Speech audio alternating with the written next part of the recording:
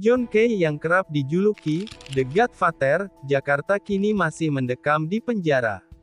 Ia divonis 15 tahun penjara pada 2021 lalu karena terbukti menjadi otak penyerangan di Green Lake City dan Duri Kosambi, Jakarta Barat. Putusan itu dikuatkan di tingkat pengadilan tinggi dan Mahkamah Agung. Namun meski mendekam di bui, kelompoknya tetap aktif dan bergerak.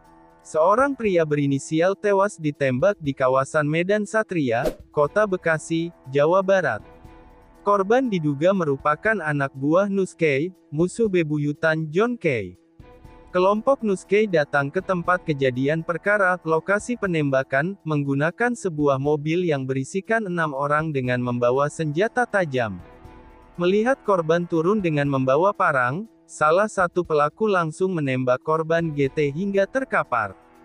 GR pun meregang nyawa. Polisi terus menyelidiki kasus ini, termasuk dugaan motifnya.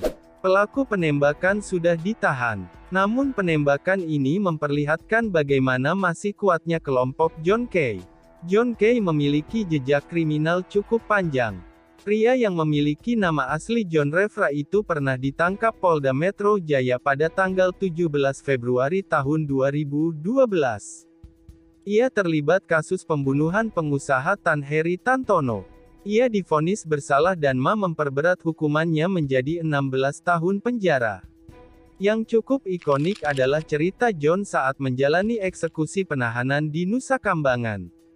Pada tanggal 2 Maret tahun 2014, John Kay bersama puluhan napi lainnya tiba di tempat penyeberangan menuju Nusa Kambangan sekitar pukul 12 lewat 5 waktu Indonesia Barat, dengan menumpang empat kendaraan Transpas, tiga di antaranya berupa bus dan satu unit lainnya berupa minibus Suzuki Elf. Mereka dikawal sejumlah mobil yang ditumpangi petugas dari Rumah Tahanan Negara Salemba dan Lembaga Pemasyarakatan Cipinang serta personel Brimob Polda Metro Jaya bersenjata laras panjang. Setelah menunggu selama 12 menit, John Kay bersama napi lainnya diturunkan dari mobil Transpas dan diminta berjalan jongkok menuju kapal pengayoman 4 yang akan menyeberangkan mereka menuju dermaga Sodong di Pulau Nusa Kambangan.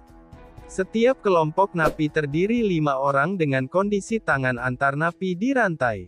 Kendati demikian, John Kay yang mengenakan kaos warna oranye dan celana jean warna abu-abu tidak mau berjalan jongkok seperti napi lain.